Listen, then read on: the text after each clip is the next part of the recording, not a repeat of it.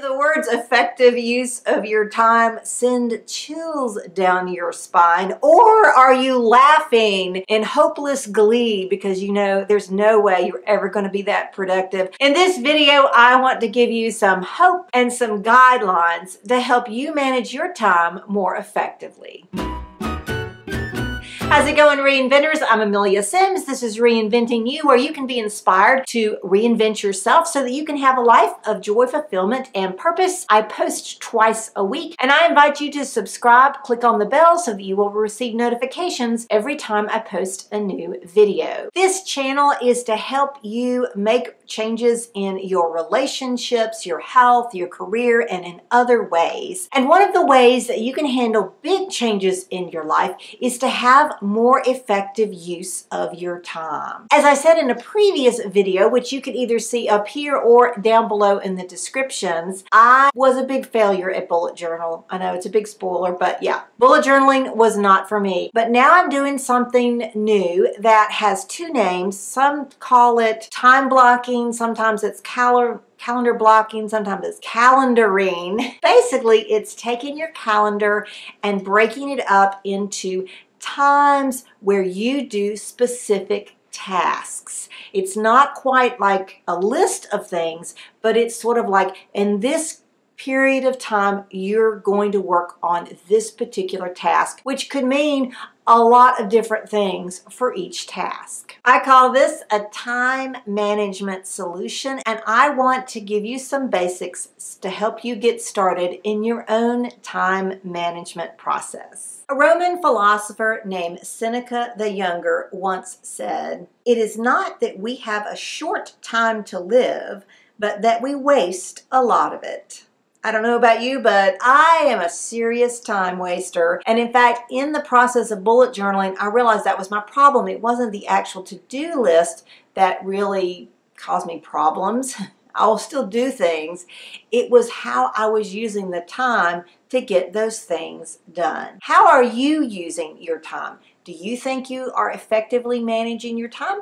You may already do that. If you do that well, give me a thumbs up. If you don't do so well, hey, give me a thumbs down. I want to hear from you. The first thing we have to do is stop depending on our to-do list as much as our larger projects. Let me explain. When I am working on my calendar, I really have to think in terms of the big picture, the bigger things I have to do, not the little things. Like I know I've got to clean the kitchen. I know I've got to make the bed. I know I've got to let the dog out or whatever. Those things are going to happen, but I really need to focus on doing things like vlogging, recording, research, all of those things I have to focus on. And those are big time blocks. Those are big things. And I can do it on my to-do list, but when I actually look at my to-do list, it's going to take me five minutes to clean the kitchen, but it's going to take me a good two hours to do some work on my vlog. Another thing about it is that when I am doing my to-do list, I don't say clean the kitchen and then write down wash the sink, mop the floor, clean the microwave, all that stuff. I know, okay, clean the kitchen, I'm going to do that. And it's kind of the same way in working on this vlog. I know I've got to have a script. I know I have to do some research. I know I have to figure out what the title is going to be and the tags, what my B-roll is going to be like, all of those things. I don't necessarily have to write those down. I've done this so much. I know what to expect.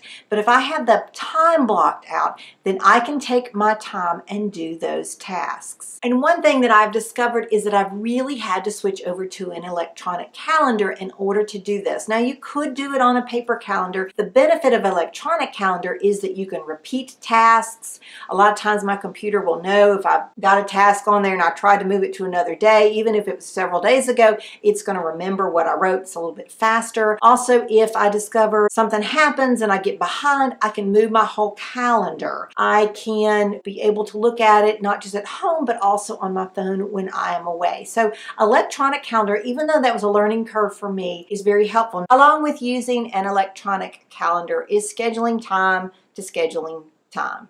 Does that make sense? Schedule time to schedule your time. I know that I can't sit down on Friday and say, oh, I'm going to start doing this and have it work. I have got to spend some time in a learning curve. I've got to see how this is going to work. I've got to do it the night before, even several days before, a week in advance, maybe even a month. It takes time to set your time up. That will help you be more effective with your time. So do you time block or calendar block? I'd be interested to know. So if you use either of these methods or any of these methods. If you block your calendar in any way, go to the comments below. They're either right below the descriptions or right below the suggested videos and let me know by typing in block if you use calendar blocking or time blocking in any form. Now there are five things, I like the number five if you haven't figured that out by now. There are five things that I recommend to use in your calendar blocking to make it more effective as well. And I want to start out with the first one,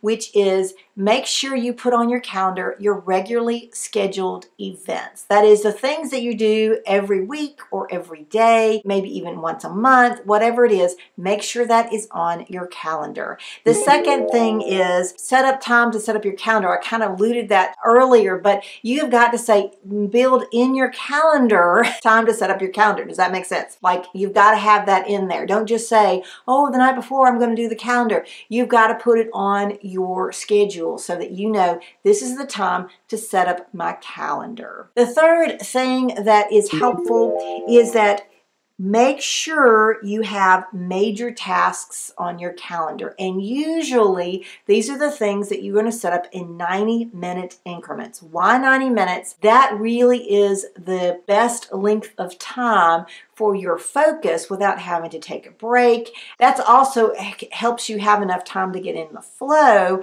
so that you can really do your best work. So schedule your major tasks and make them in 90 minute increments. The fourth thing is make sure you schedule in meetings. I know we all love meetings, right? A lot of times the best time to schedule your meetings is toward the end of the week, like Thursday or Friday. If you're like me, you you do your best work in the morning, in the afternoons is better, but later on the week, later on the day is usually a good time to schedule your meetings and make sure you block time for that. Even if your meeting is a phone call, schedule those on your calendar on meeting times. The fifth way to use your time blocking or time management effectively is to make sure you look back. In other words, look back and say, what really took this length of time? Am I scheduling too much time for my vlogs? Do I need more time for social media? Is it appropriate for me to put on my calendar, you know, time to do household tasks? Or maybe that's a helpful thing, or is it not a helpful thing? Do I need more time to do those things? Make sure all of this is on your calendar. Look back and say, did I use that time? Is that a good time? Do I make, need to make more time? Look back and see what you need to do. And for goodness sake, please try this for at least three weeks, three months if you can. Don't just say, I'm to try it this week and it fails and that's it. And many of you know I tried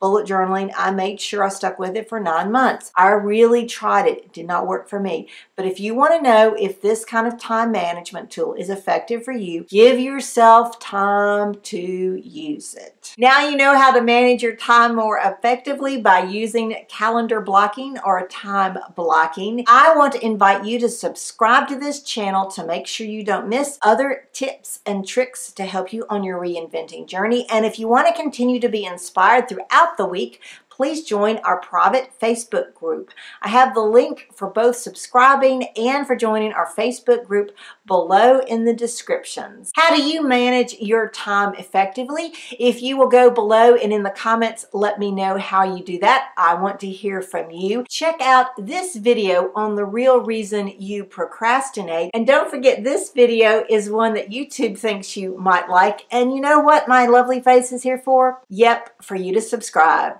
Have a great one.